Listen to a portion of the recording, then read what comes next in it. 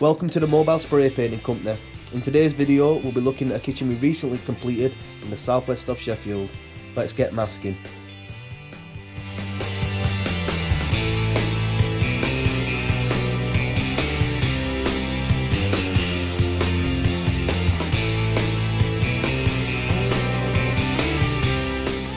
Right, so that's the tedious masking out of the way, and as you can tell, our client she's having the interiors left.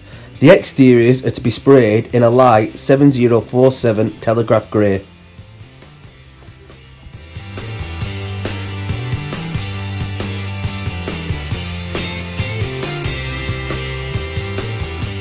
So after two coats of primer and two coats of lacquer, we'll let the kitchen air out for a few minutes. After this, it's ready to start putting it back together again.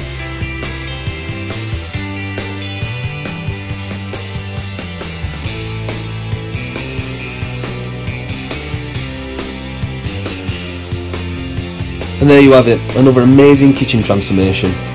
This kitchen took all but 3 hours to complete and it looks like a brand new kitchen for our client. The only thing that's needed now is the new brass handles. Thanks for watching.